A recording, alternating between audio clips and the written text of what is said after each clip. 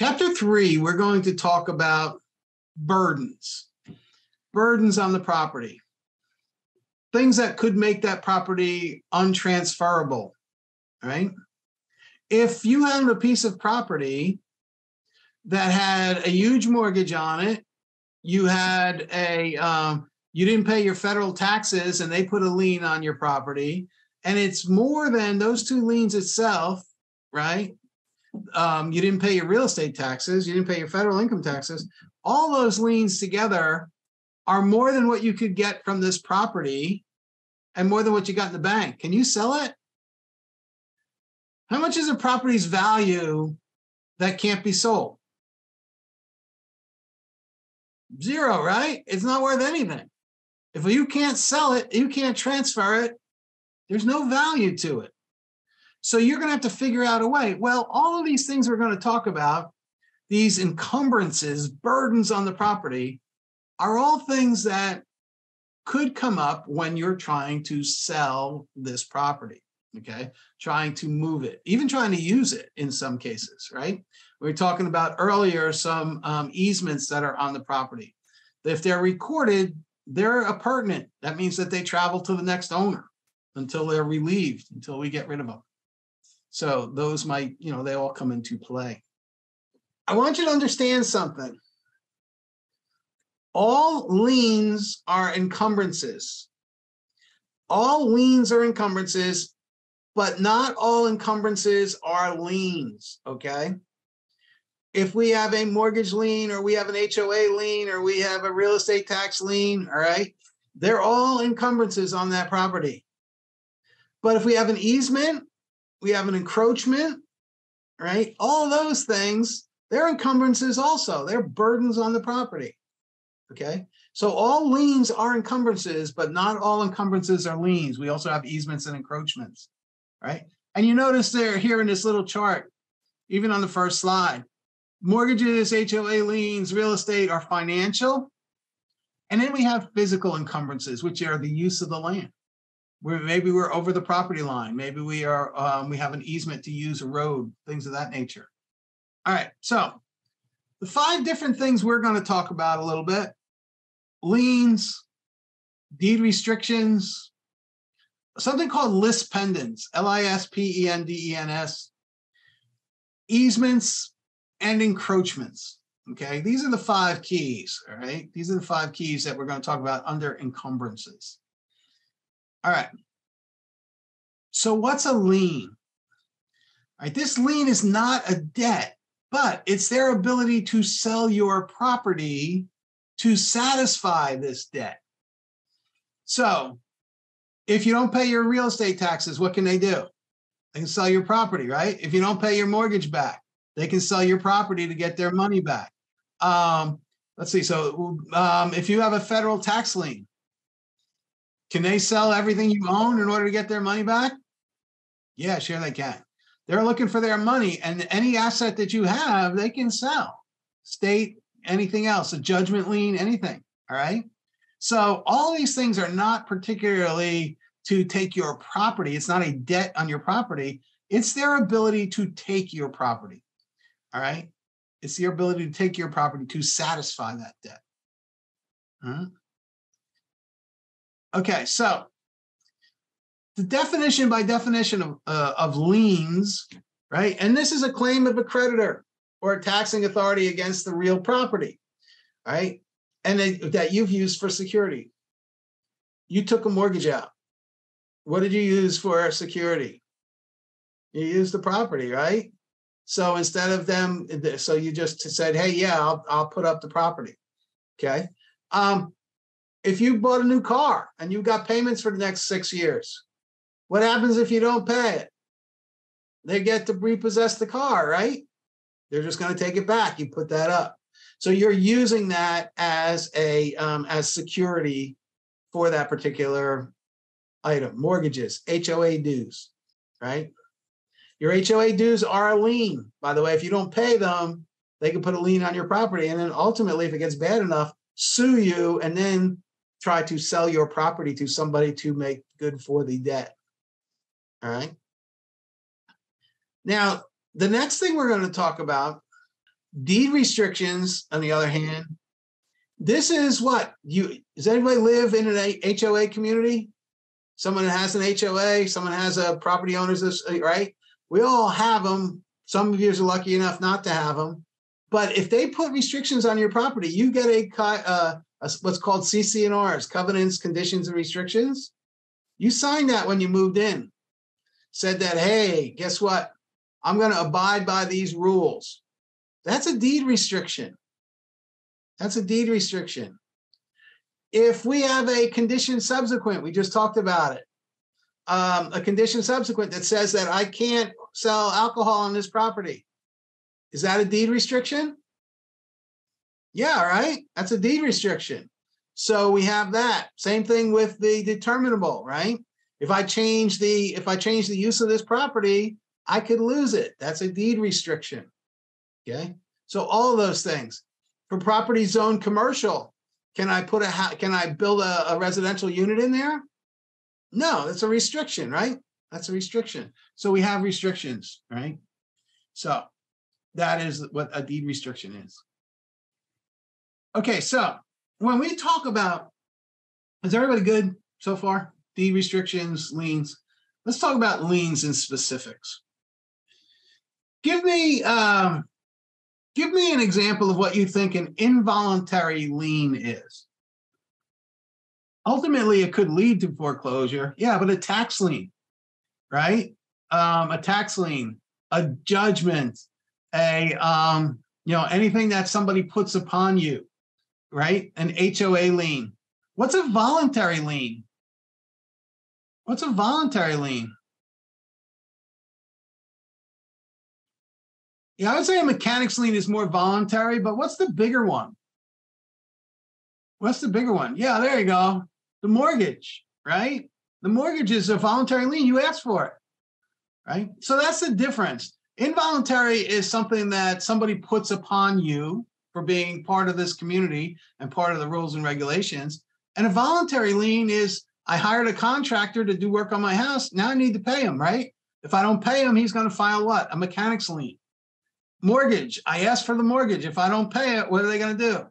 Going to file a, they're going to file a mortgage lien, right? They're going to try to take the property. I asked for those. So that's the difference between involuntary and voluntary. All right involuntary and voluntary. Now, we also have a difference between general liens and specific liens. A specific lien, right, is a lien in, um, uh, it's a lien in rem, don't worry about that. Um, specific lien, all right, this is attached to a specific piece of real estate, to the land, okay? your deed of trust, which is your mortgage in North Carolina. Okay. That's to the land. Your real estate property taxes, that's a specific lien. Your special assessments, if they pave your roads and it's not public roads, it's private roads, who's paying for the paving? Yeah, you. That's right. Right? You get to pay for that. So that is a special assessment. Maybe they're going to put sidewalks in they're not covered by the um, not covered by the community. They're going to be paid out of the HOA. You're going to get paid. You're going to have to pay a special assessment. That is a specific lien on your property. Mechanics liens we talked about, right? You got to pay your contractor. And then if you're a commercial real estate broker, you can have a um, you can file a lien. We'll talk a little bit more about the this you can file a lien against your company against a deal that you just um, that you just consummated. We'll talk more about that. Just hold that in the back of your mind. All right, hold that in the back of your mind. Now, we do have some rules about mechanics liens. Your contractors have to be paid, right? If you hire somebody to add a room to your house they have the right to get paid. All right. So if they don't get paid, they can file a lien against you. Then go to the clerk of the excuse me, go to the clerk of the court, and they said, "Hey, I did work for Sam Hassell, um, I don't know, 100 days ago, and I haven't gotten paid yet. I would like to get paid." So I file a lien. Now, I had to hire a contractor. I also had to hire an electrician. I also had to hire a painter, and I didn't pay any of them. So I had some, one of them file at 100 days. I had another one file at 105 days, and I had another one file at 110 days. They all filed liens against me. Who's going to get paid first? If they foreclose on my house, somebody's going to get paid first. Who are they? Yeah, the and the Hunter. Yeah, there you go, Tyler. Right. You have to file within 120 days, but the first one to file is the first one to get paid. Second one to file, second one. Third one to file, third one. Now, we'll get to it. I don't want to get ahead too far. So, subcontractors, uh, architects, contractors, equipment lessors, anything that has to do surveyors, anything that has to do with your property, those are our, you know mechanics liens. They have to get paid, and they're going to get paid in the order they record. All right, in the order they record. Now, they have to be filed within 120 days from last furnishing of labor or materials. So I dropped off, I, I've, I filed it 100 days. I dropped off the material 100 days ago. Okay. That was the last time I furnished it. What's going to happen is, let's say I've been working on that job for 60 days. Well, if I file at 100 days, they're going to backdate that for 60 more days. And what'll happen is that'll be the start date, the date of the original delivery of the materials or the original work. So when you file at 100 days, they're going to go back and they're going to predate that from when you first started. So that'll be the original start date. Okay. So it has to be filed within 120 days from the last furnishing of labor and materials and it takes effect from the first date of furnishing the labor or materials. All right. So you have to file it. I have to take them to court within 180 days of last furnishing. So I have to go to court. I have to file file my court case within six months, 180 days of when I've last furnished materials. So usually it doesn't go to 100 days. Usually, if I don't get paid in 30 days or 60 days, I'm going to file a lien. And then I'm going to work with the court to get to court so that I can take it to the judge. And I'll have the judge get my money for me. All right. So if we don't, if it's not foreclosed, this lien is going to remain in place until you the property sells. And then when you sell the property, what happens with all the liens at the closing? Anybody know? All these liens at the closing, what happens to all of them? Anybody want to take a guess? Um, actually, all of you are correct here. Some of them have to be, most of them will have to be satisfied by the seller. But if if um, I don't, if I'm the buyer and something doesn't get settled, guess who now owns that lien? The new buyer. The new buyer owns the lien. That's why these things have to be settled at closing, is because if I bought a house that had a mechanics lien on it and they didn't satisfy it from the sellers at the uh, closing, when I bought the house, I bought the lien. Okay, that lien just didn't go away because he sold it. It has to be paid, right? So if we don't get them satisfied, so all we want the attorney to who's doing the closing to go through all of these things and make sure they've satisfied all of these liens. All right. But in the in some cases, if they don't, if they miss something, that lien's still on the house. Right. So particularly a specific lien. A specific lien is still on the house. I bought it. Yeah. Guess what? Congratulations, Sam. You just you just bought a twenty thousand dollar lien in addition to paying five hundred thousand for the house.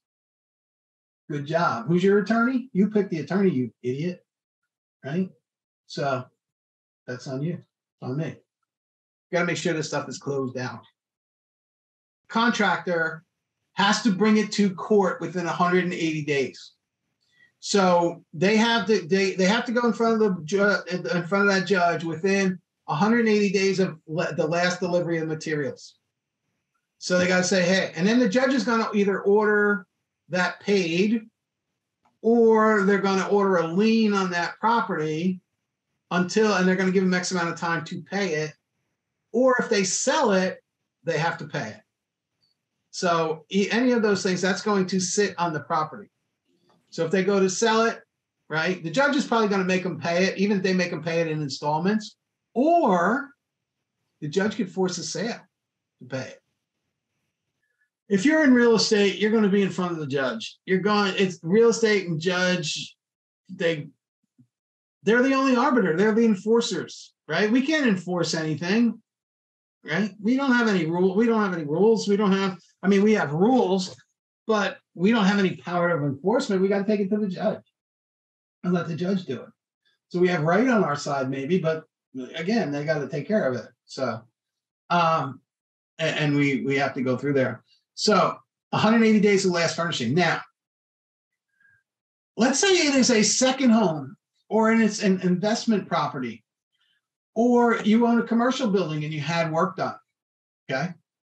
The North Carolina mechanics lien law says that if you had work done with that was worth over $30,000, you have to assign a lien agent.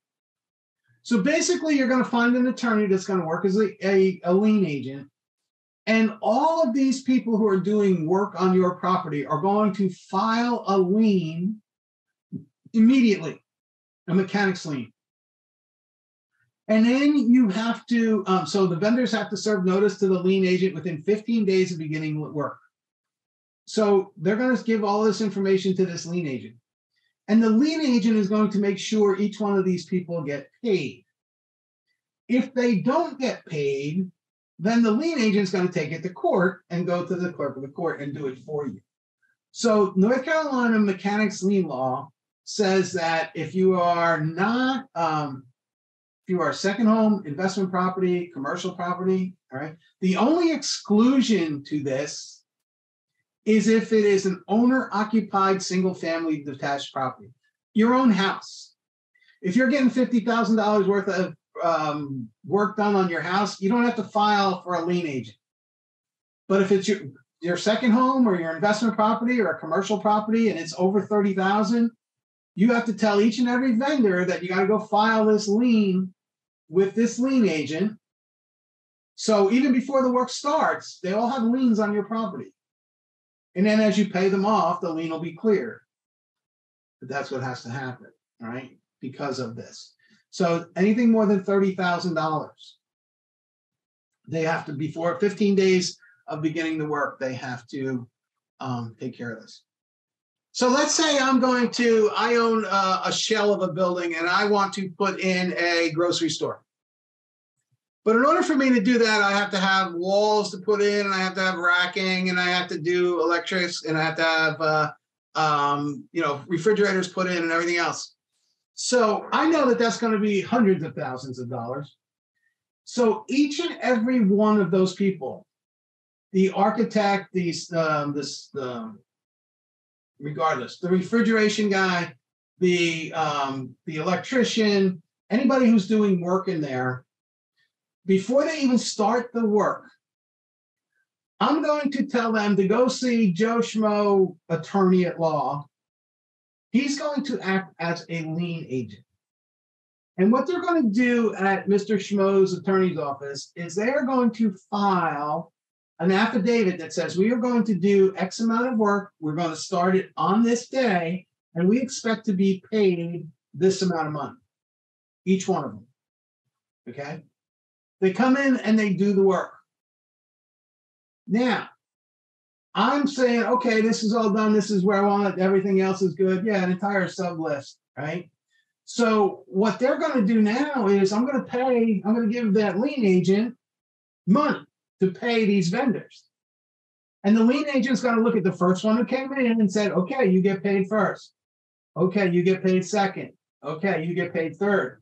And that's it. Now, if I don't pay them, if I don't pay them and the project's complete, and the, the lien agent says, okay, you got to pay the bill. And I say to the lien agent, sorry, Mr. Schmo, I got no money left.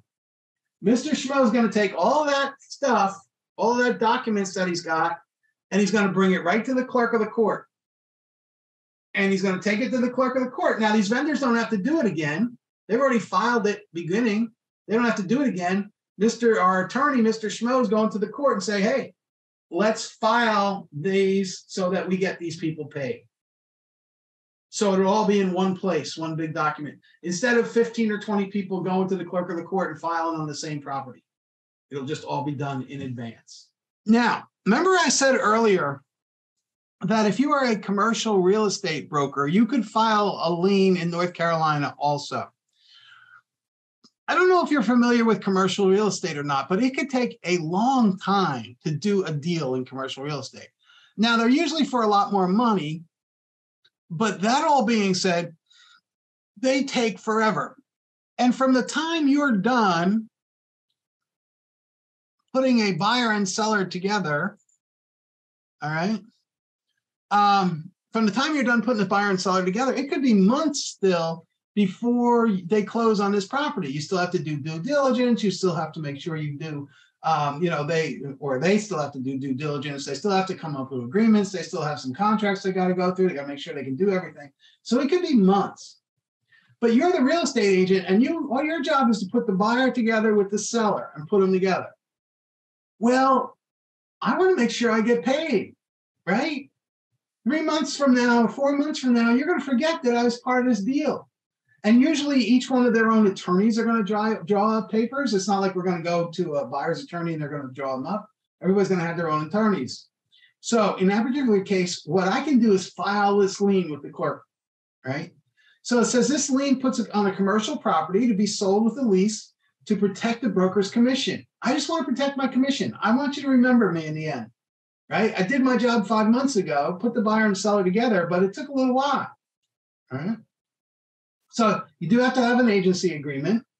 You do have to be finished with doing your job, right? Put them together, did all the other stuff. Now they're working on other due diligences and things of that nature. All right.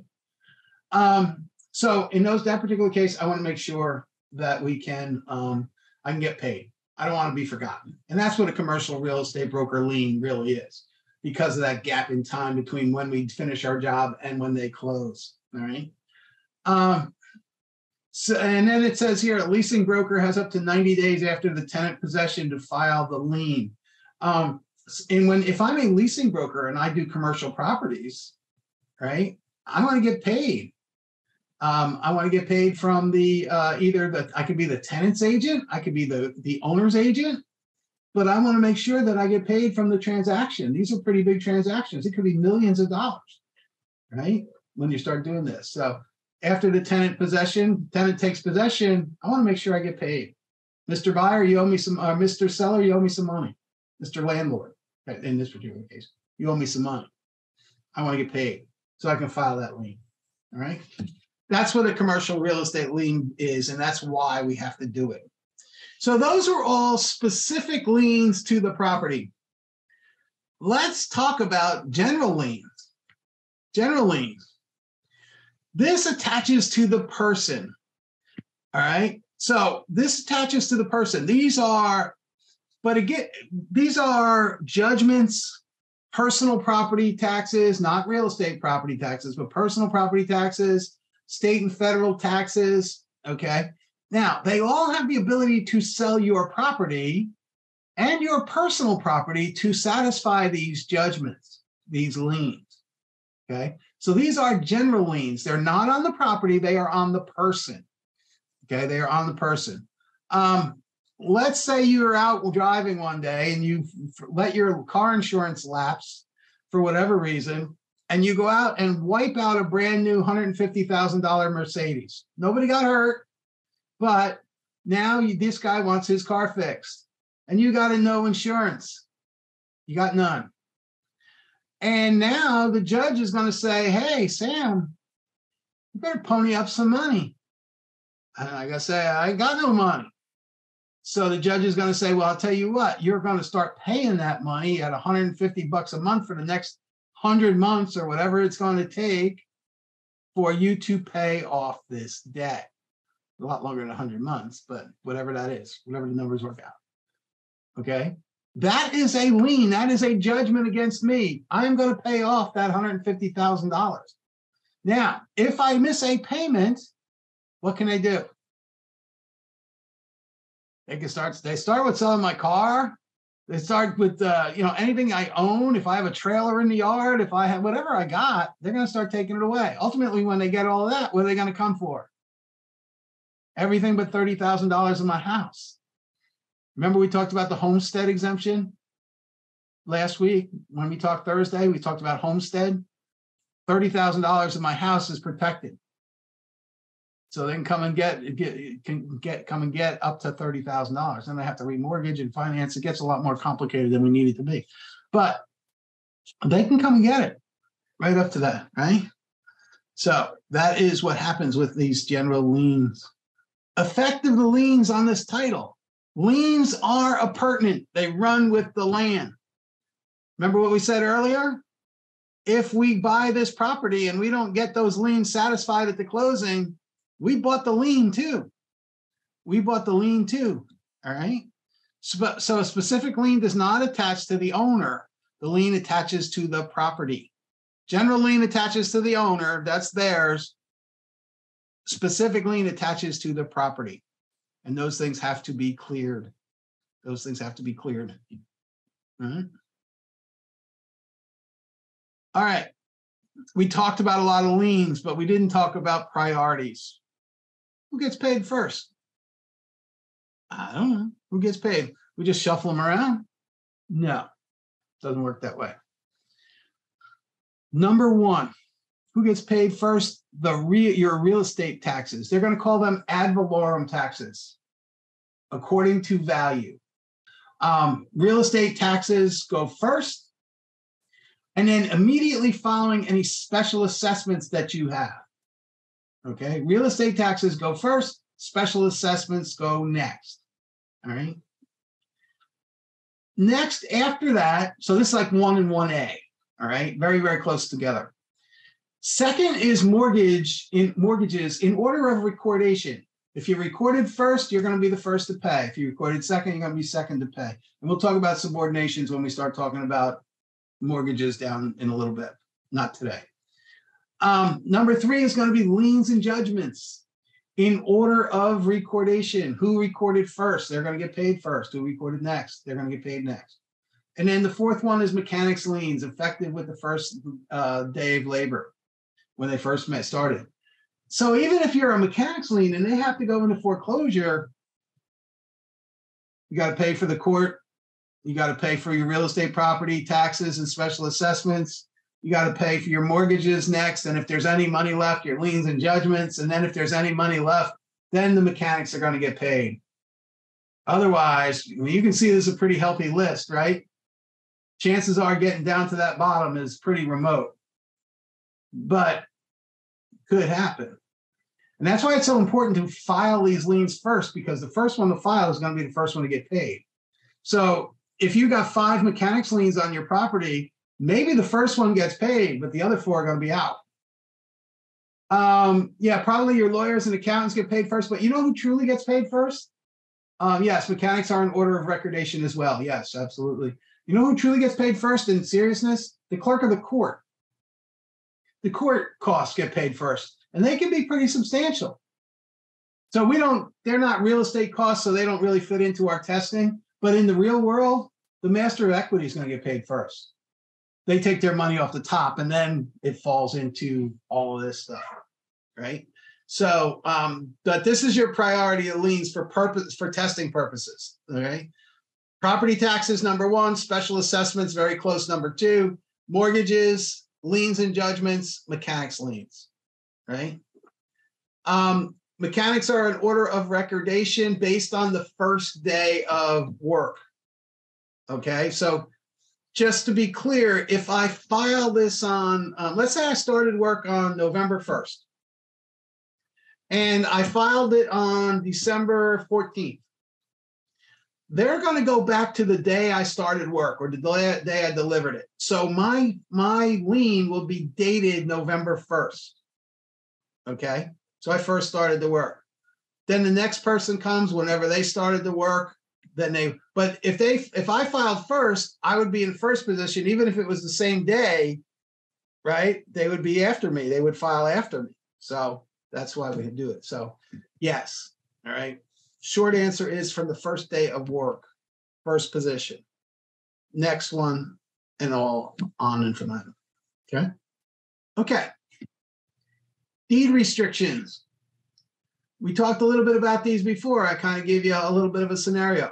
Private agreements enforced by private parties. These are your community uh, restrictive covenants, your HOA documents, your CC&Rs, covenants and restrictions, right? You can't have commercial park, uh, the commercial vehicles parked in your property. You can't have horses on your property. All house front doors have to be painted brown and not red. Whatever. Okay. No trailers parked in your driveway. No garbage cans out before five o'clock at night. You know the drill, right? If you've ever lived in one of those commercial, uh, com, yeah, one of those communities, you know the drill, right? Those are deed restrictions. We talked about our condition subsequent. We talked about our um, defeasible, same thing. And these are usually imposed by the developer or the original owner. And again, purpose is to maintain the standards and the value. We want a level to maintain. We have to put rules into place. Okay, rules in place. Okay, lis pendens. Lis pendens. If I was going to file suit against somebody who hasn't paid me yet, if I went to the clerk of the court to file it today, would it come up tomorrow? No, the backlog is pretty long. It could be three, four months from now, right? So it could be longer than that. But let's say at least I filed it and I'm trying to get it in front of the court. So this is an active lawsuit. Once I file it, it's an active lawsuit, all right? That may affect the title of the property, all right? I'm going to go list a house. And before I go list the house, I go take a, I go to the clerk of the court and I say, I want to see your lis pendens. And you can do this online in a lot of counties too. I'm going to see your lis pendens, L I S P E N D E N S. I'm going to make sure that the house I'm going to go list and try to sell isn't going to get foreclosed on in two months. Right? It would be good information for me to know. Because I'm going to work for six months or work until that's over. I'm going to spend a lot of my money and a lot of my time and everything else marketing. And then the bank is going to take it over and I'm going to be out the door after I spent all the money. Right? So this is something that I don't want to happen to me. I want to make sure. Same thing with a buyer. If I'm working with a buyer, I want to make sure I have enough time to close on this before they foreclose on me. And if I see that they're going to foreclose, I want to know the details. I'm going to make some phone calls, right? So I can go to the clerk of the court and find out if there are any lis pendens out there, potential lawsuits, upcoming lawsuits, upcoming trial dates. All right. So this is a foreclosure suit, right? In case the owner sells during those proceedings. I don't want to be left out in the cold. And I don't want my buyer to be left out in the cold either. All right. So, or can we buy it and then just be subject to whatever comes out of it? So there are a few things to do, but this is again, this is an encumbrance. This is an upcoming lawsuit, right? Very, deter- it's uh, it's a must. All right. Now, when we attach it, remember that Mercedes Benz that we crashed and we got to pay for? Well, the judgment is called a writ of attachment. Okay, a writ of attachment. So basically, they put a writ on our property, our personal property, on our house or whatever. All right. So this is for debt. They owe it to, we owe it to somebody. Okay. We have to pay it. So that's just what they call it. It's just a nomenclature. Um, basically, it is just, it just says that in addition, this writ is a document that says that we have to pay this for that. All right. So all it is is just the attachment. And it doesn't count for a mortgage. Now, if we're going to, after a foreclosure sale, we're going to talk about deeds as we get on. But after a foreclosure sale, they're going to use a sheriff's deed or a trustee's deed in order to um, transfer that title. You're not going to get a quitclaim deed. You're not going to get a bargain and sale deed. You're not going to get a general warranty deed or a special warranty deed. You're going to get a sheriff's deed. It says, hey, here you go. You just bought this out of foreclosure. We're not giving you any warranties. It's you. It's all you. Okay. So that's what you have here. Writs are writs of attachment. That's just the legal notice that says you can't sell this house without paying this off. And that's really what it is. Okay. So if we have an easement, we have use of a property. All right. North Carolina is easement by prescription is 20 years. 20 years. We have to be able to use that piece of property continuously, openly, hostily for 20 years. Um, that's why it's so hard to take that uh, that um, easement by prescription and turn it into ownership because 20 years is a long time, right? And they have to not abandon it. They can't leave it. So let's say, in just using their example, if we're going to use that little piece of roadway for 20 for 20 years, if for two years I didn't use that little piece of property, maybe I was out of the country. It's got to be continuous. So that means that it's going to start all over again from when I came back in the country, right? If I can show that it wasn't used for two years, okay, then uh, it would be, um, then I could start all over again and still go longer. But look, you gave them, if you don't stop anybody in 20 years from using your property, it didn't bother you then. Why is it going to start bothering you now? Right. So that's why you need to, um, you know, hey, look, for a little bit of time, you somebody uses something, then you catch them and you say, hey, don't do this. Now, once you say don't do this, they no longer have an easement by prescription, right? They can't keep using it. They have to stop. Now they're trespassing. Um, let's say let's use let's let's say that um, I have a piece of property and I don't even have a um, I don't have a neighbor. I have a piece of property, but it's on the waterfront. It's on the riverfront. And down by the end of my property is a, a beach, and it's a public beach. All right.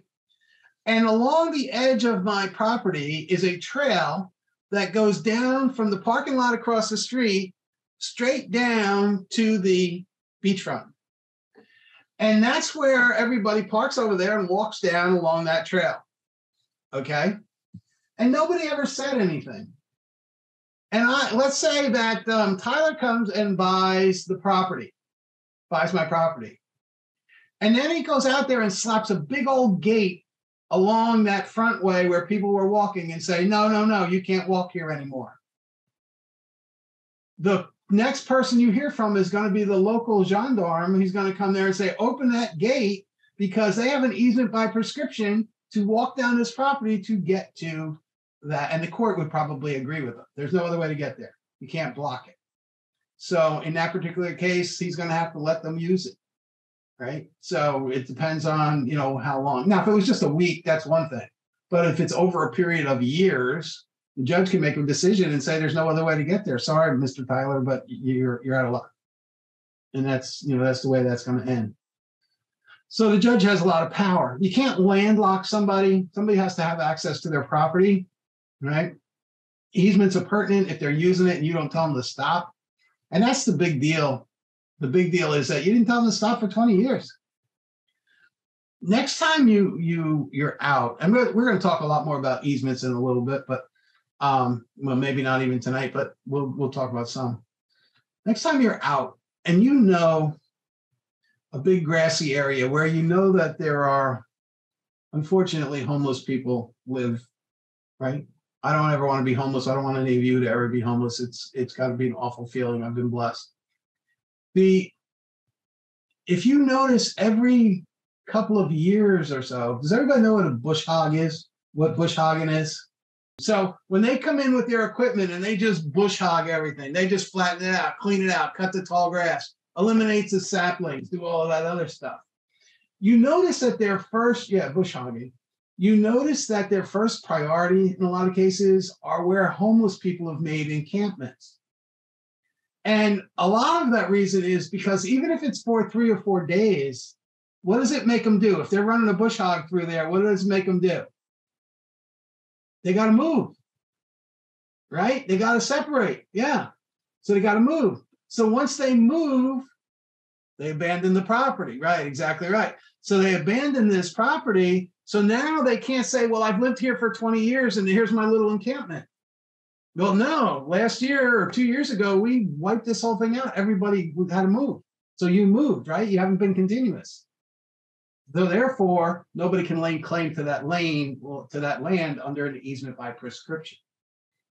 And that's a lot. It's man, I don't ever want to be homeless. Let's put it that way. I don't know. God forbid somebody else has been, but uh, you know, you're trying to find a place to live, but they also don't want to be giving away land either. You know, because somebody's been in there. And it serves a dual purpose of cleaning the place up, really, right? So in a lot of cases, you'll see that where those people were, were. And when they bush hog all that stuff, you'll see all the stuff they left behind. It'll just be like torn asunder and won't be much because there, you know, there really isn't anything and they, they're taking as much as they can, but garbage usually for, uh, so, um, yeah, so that's, there's a little, there's a secondary reason behind just cleaning that up, which, you know, the first reason is they want to, you know, just take that like grass down and whatnot.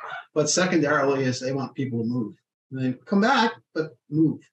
So they don't stay there. So those are all important. All right, so we have two types of easements. All right. Now, no ownership, no ownership. Nobody has ownership. They just have the right to use it. So we have an easement appurtenant. An easement appurtenant is recorded and it runs with the land. If it's recorded, it runs with the land. Okay. Now, if it is an unrecorded easement, can you stop it? Now, if it's landlocked, you can't stop it. You cannot landlock anybody. But because they got to go to court and say, I have no other way to get into my property, you got to let me in, right? Um, yeah, there you go. Had to have my back acre bush hog after surveying. Yeah, they'll lay it out and then they trim it all down. Yeah, absolutely. So if I am landlocked and I have trees all around me and the only way to get in is across the back of your property, even if you put a big fence up there, if it was never recorded, I'm going to go to court and I'm going to say, hey, I can't get into my property. They just put a fence up. Can I have them take it down? Well, I'm going to have it take it down. And what's the first thing I'm going to do? We're going to record the easement so they can't do it again, right? The judge is going to make them record it.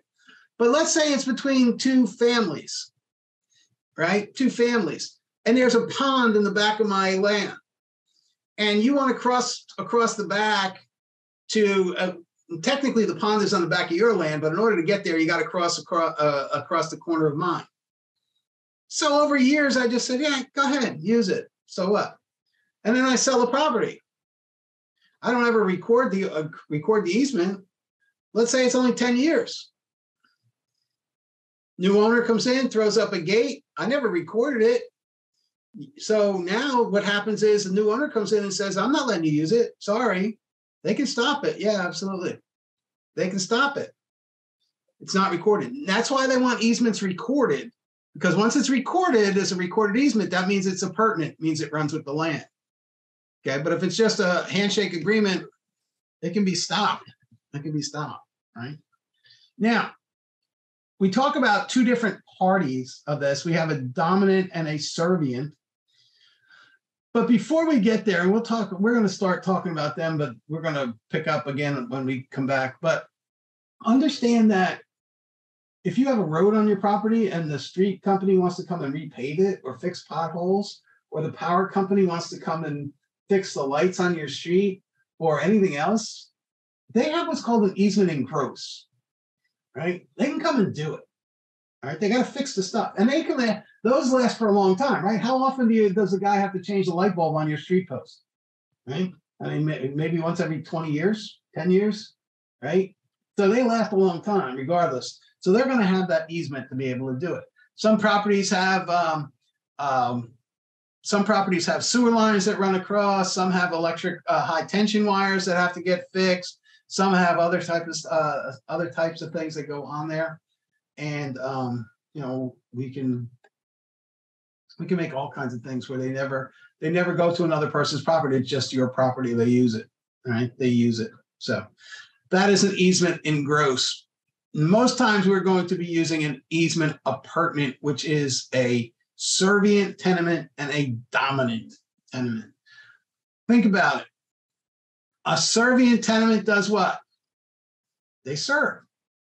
So that means I'm going to let somebody use my land, right? And a dominant tenement does what? I'm going to take, I'm going to use a piece of the other guy's land. I have to. I'm going to use it. So the dominant tenement benefits from it the servient tenement is the one who's letting them use it. That's where that property goes. All right. So an easement appurtenant runs with the land, all right, and lasts forever. Unless we physically go in and say we're not using it anymore and get it written out of the record. All right. These are two different lots with different with a um, different owners, two adjacent lots. You cannot landlock anybody. Okay. Now, when we say this is a pertinent, it is pertinent to both lots. Pertinent to the servient tenement who says I have to let them use it, appurtenant to the dominant tenement who says I have to come that way to use it. I'm allowed to use it. Okay. So dominant and servient. All right. So an easement has to be recorded to be binding against the purchaser of the servient estate, much like we just said. If we didn't record it, we stop it. We can stop it, right? This is an easement appurtenant. But if it's not recorded, doesn't necessarily run with the land. If you like this video, feel free to share it with a friend.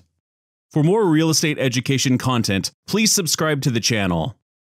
From all of us at Seacoast Real Estate Academy, thank you for watching.